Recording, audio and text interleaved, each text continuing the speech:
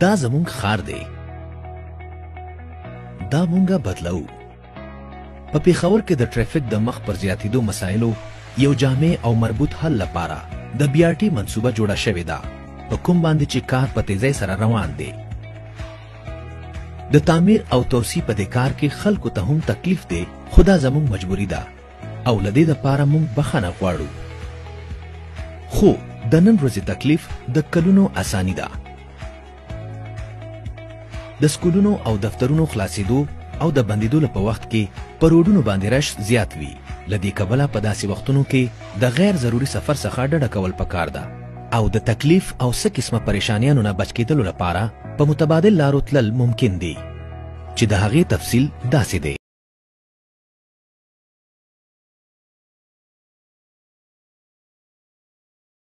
د موټروې، جي ټي روډ چمکني او چغلپورې نه سیکرټریټ، صدر او ایرپورټ د تګ راتګ لپاره په چارسده روډ باندې د رینګ روډ استعمال کوئ. که موټروې جی ټی روډ چغلپورې نه یونیورسټي ټاون ریګي ماډل ټاون حیات آباد او کارخانو مارکیټ ته تګ راتګ لپاره د کوهاټ روډ په لاره د رینګ روډ استعمال کوئ جی ټی روډ چمکني نه کوهاټ روډ ته تلو راتلو لپاره انقلاب روډ استعمالوئ جی ټی روډ چغلپورې نه ګلبهار نشتر آباد او کیسه خانه ته تګ راتګ لپاره لکډيري روډ استعمال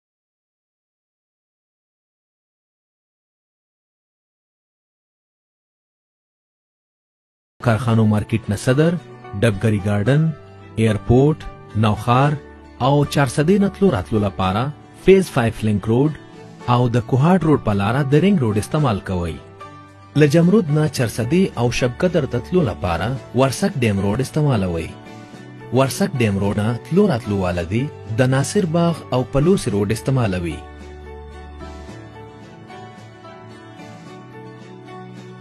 کوهاټ روډ نه صدر سیکریټریټ ته تلو راتلو والا رینګ روډ استعمالوي کوهاټ روډ نه شنغرۍ ګلبهار او لیډي ریډینګ هسپتال ته تلو راتلو لپاره دوره روډ استعمال کوئ کوهاټ روډ نه ایرپورټ او یونیورسټي ټاون ته تګ راتګ لپاره باړه روډ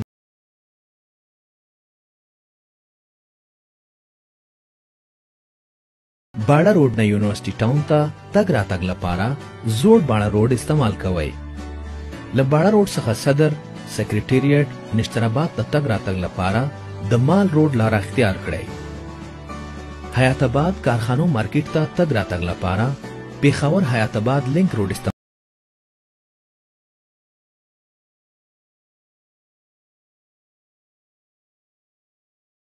ورسک روډ نه یونیورسټي ټاون، کارخانو مارکیټ او حیات اباد ته تګ راتګ لپاره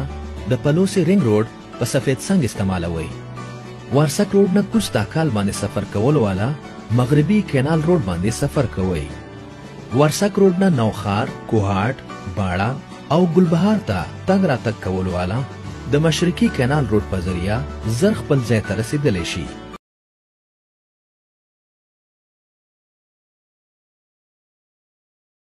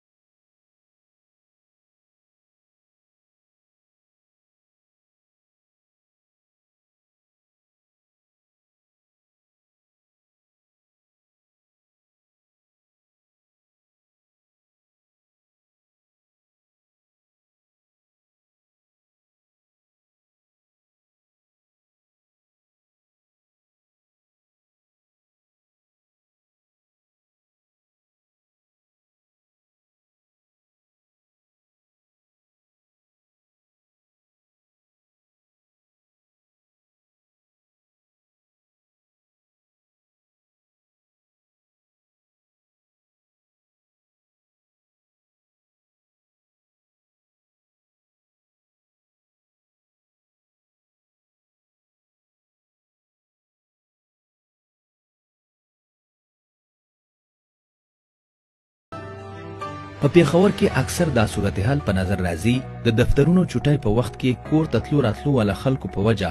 سړکونه ډک شي نو د لین پابندي ډیره ضروري ده چې تر څو پورې د بي آر ټي منصوبه تر سره نشي تر هغه وخت پورې سودا اخستل د چټای په ورځو کې کوي هوښیار او ښه ډرایور هغه دی چې د ټریفک په ټاکلو نښو ښه پوهیږي د اسانتیا لپاره ځای پر ځای بورډونه لګیدلي دي او په هغې پوهیدل او عمل کول زمونږ ذمه داري ده د بي آر ټي د تعمیر په دوران کې به په غټو او اهمو چوکونو د ګول چکرونو لکه په رنګ روډ او باچا خان چوک باندې رش زیات وي لدې وجې نه په ګول چکرونو کې د خي طرف راتلونکي ټریفک او لین او اشاره خاص خیال وساتئ د خیبر پښتونخوا حکومت بي ار ټي منصوبه داسې مسلو لپاره مدام حل دی. تر څو چې دا مسله حل شي موږ ستاسو د تعاون ضرورتمن یو.